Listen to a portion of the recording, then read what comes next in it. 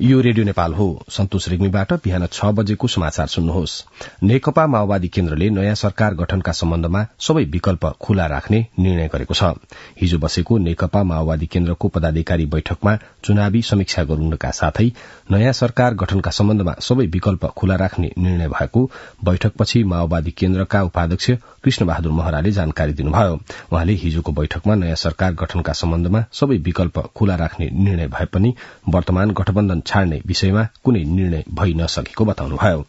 नेकपा एमालेसँग पनि मिलेर सरकार बनाउने विकल्प खुला राखिएको हो भन्ने संचारकर्मीको जिज्ञासामा उपाध्यक्ष महराले सबै विकल्प खुला रहेको तर पुरानो गठबन्धनलाई छोड्ने निर्णय नभएको बताउनुभयो। बैठकमा चुनावी नतिजाबारे प्रारम्भिक छलफल भए पनि त्यस सम्बन्धमा पूर्ण नतिजा आइसकेपछि थप छलफल र समीक्षा हुने उहाँले बताउनुभयो।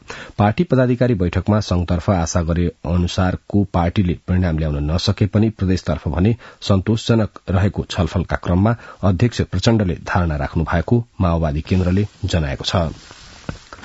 निर्वाचन आयोगले प्रतिनिधि सभाको प्रत्यक्षतर्फ एक सय पैंसठी स्थानमध्ये एक सय त्रिसठी स्थानको परिणाम घोषणा गरेको छ।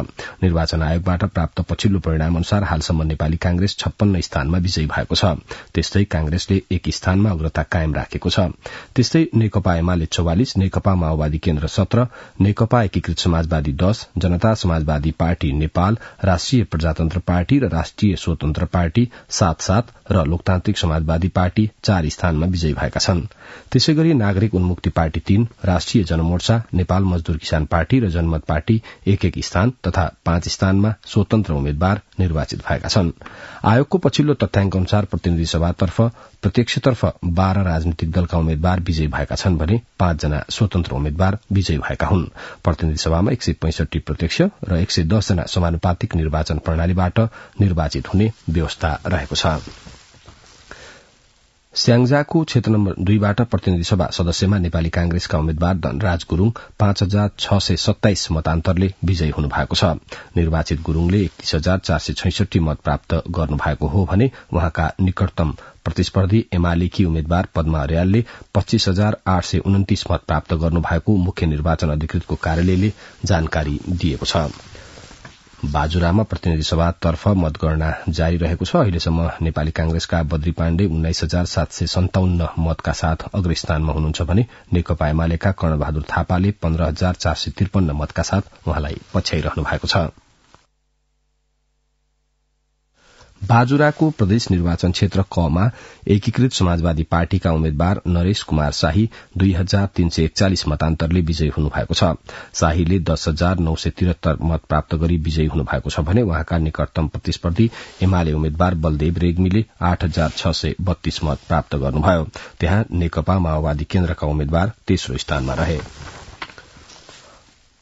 प्रतिनिधि सभा सदस्य समानुपातिक प्रणालीतर्फ हालसम्म एक करोड़ चार लाख बीस हजार एक सय पच्चीस मतको गणना सम्पन्न भएको निर्वाचन आयोगले जनाएको छ। आयोगको सूचना प्रणालीमा प्रविष्ट भए अनुसार समानुपातिक प्रणालीतर्फ नेकपा एमाले अग्रस्थानमा रहेको छ। अहिलेसम्म नेकपा एमाले सत्ताइस लाख अठासी हजार तीन सय छप्पन्न मत प्राप्त गरेको छ भने नेपाली कांग्रेस दोस्रो स्थानमा रहेको छ। छब्बीस लाख साठी हजार दुई सय छयालिस मत कांग्रेसले प्राप्त गरेको छ।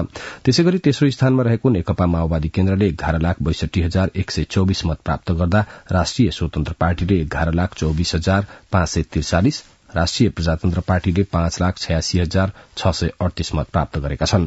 त्यसै गरी जनता समाजवादी पार्टीले चार लाख बीस हजार नौ सय छयालिस जनमत पार्टीले तीन लाख चौरानब्बे हजार पाँच सय तेइस नेकपा एकीकृत समाजवादीले दुई लाख चौरानब्बे हजार तीन सय बैसठी नागरिक उन्मुक्ति पार्टीले दुई लाख एकात्तर हजार छ सय बैसठी र लोकतान्त्रिक समाजवादी पार्टीले एक लाख सतसठी हजार दुई सय एकासी मत प्राप्त गरेको निर्वाचन आयोगले जनाएको छ।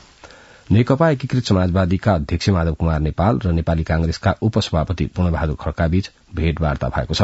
अध्यक्ष नेपालको निवास कोटेश्वरमा हिजो भएको भेटवार्तामा प्रतिनिधि सभा र प्रदेशसभाको निर्वाचनको समीक्षा गरिएको उपसभापति खड्काको सचिवालयले जनाएको छ।